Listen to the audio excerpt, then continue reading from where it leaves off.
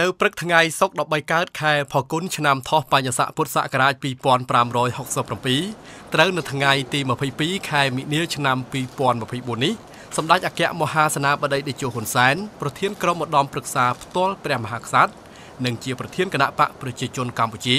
បានអញ្ជើញជួបពិភាក្សាការងារជាមួយនឹងឯកឧត្តមវ៉ាន់មូហាម៉ាត់ណម៉ាថាប្រធានរដ្ឋសភានៃព្រះរាជាណាចក្រថៃដែលជំនួបនេះធ្វើឡើងនៅវិមាន7មករារាជធានីភ្នំពេញ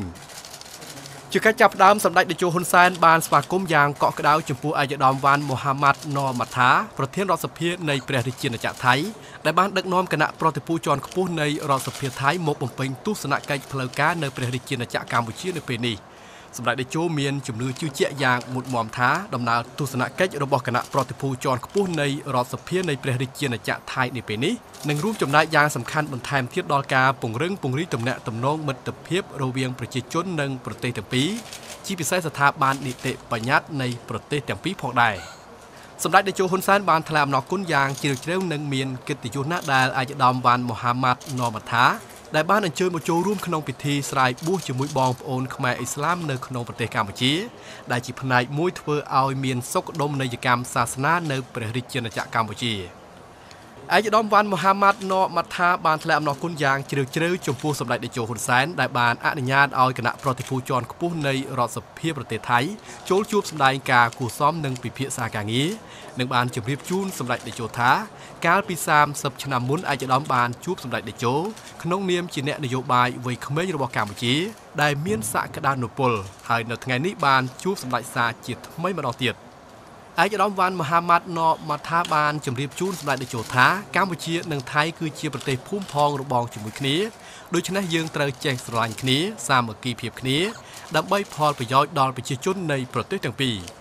ឯកឧត្តមបានគូបញ្ជាក់ទៀតថាប្រទេសថៃបានយកចិត្តទុកដាក់មើលថែពលករកម្ពុជា ដែលកំពុងបម្រើការងារនិងប្រកបរបរក្នុងប្រទេសថៃដូចជាប្រជាជនថៃផងដែរជាពិសេសបានផ្ដល់ឱកាសឲ្យគ្រួសារនិងកូនរបស់ពលករកម្ពុជាទទួលបាននូវការអប់រំរៀនសូត្រជាភាសាថៃផងដែរឯកឧត្តមវ៉ាន់មូហាម៉ាត់ណូម៉ាថាបានអបអរសាទរចំពោះសម្ដេចតេជោដែលទទួលបានតួនាទីជាប្រធានក្រុមឧត្តមប្រឹក្សាផ្ទាល់ព្រះមហាក្សត្រ និងអបអរសាទរចំពោះសម្ដេចតេជោដែលនឹងត្រូវក្លាយជាប្រធានព្រឹទ្ធសភានាពេលដ៏ខ្លីខាងមុខនេះ។ជាការឆ្លើយតបសម្ដេចតេជោហ៊ុនសែនបានវាយតម្លៃខ្ពស់ចំពោះភាពរីកចម្រើនលើគ្រប់វិស័យនៃទំនាក់ទំនងកម្ពុជាថៃនិងបានថ្លែងអំណរគុណយ៉ាងជ្រាលជ្រៅចំពោះរាជរដ្ឋាភិបាលថៃដែលបានយកចិត្តទុកដាក់ផ្ដល់ការថែទាំដល់ពលករកម្ពុជាដែលកំពុងតែបម្រើការងារនៅឯប្រទេសថៃ សម្ដេចតេជោបានជំរុញឲ្យប្រទេសទាំងពីរលើកកម្ពស់បន្ថែមទៀតនៅកិច្ចសហប្រតិបត្តិការផ្នែកសេដ្ឋកិច្ចពាណិជ្ជកម្មវិស័យការងារនិងវិស័យទេសចរជាដើមឡើយសម្ដេចក៏ចង់ឃើញទំនាក់ទំនងរវាងប្រទេសទាំងពីរក្នុងការលើកកម្ពស់ទំនាក់ទំនងដៃគូយុទ្ធសាស្ត្រទៅជាដៃគូយុទ្ធសាស្ត្រគ្រប់ជ្រុងជ្រោយនាពេលអនាគតផងដែរ ចំពោះកិច្ចសហប្រតិបត្តិការតំបន់យើងត្រូវជំរុញបន្ថែមទៀតដើម្បីផលប្រយោជន៍រវាងប្រទេសទាំងពីរក្នុងក្របខ័ណ្ឌអាស៊ានអេកមិចនិងមហាអនុតំបន់មេគង្គជាចុងបញ្ចប់សម្ដេចតេជោបានថ្លែងអំណរគុណចំពោះឯកឧត្តមវ៉ាន់មូហាម៉ាត់ណូម៉ាថាដែលបានអបអរសាទរចំពោះសម្ដេចនិងបានជូនពរដល់គណៈប្រតិភូទាំងអស់ឲ្យទទួលបាននូវភាពជោគជ័យក្នុងដំណើរទស្សនកិច្ចនៅព្រះរាជាណាចក្រកម្ពុជានាពេលនេះ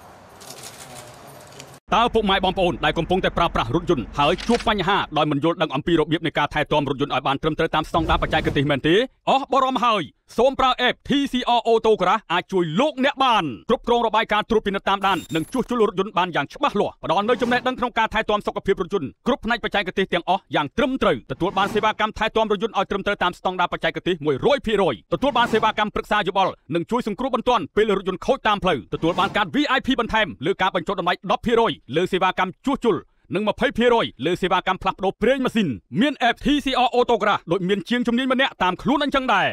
បញ្ជាក់ TCR Auto Garage ក៏មានទទួលសហការចុះធ្វើកុងត្រាមើលថែទាំត្រួតពិនិត្យតាមដាននិងជួសជុលរថយន្តជាមួយស្ថាប័នរដ្ឋឯកជនព័ត៌មានលម្អិតសូមទំនាក់ទំនងទូរស័ព្ទនិង Telegram 090 88ការ៉េ3សូមអរគុណ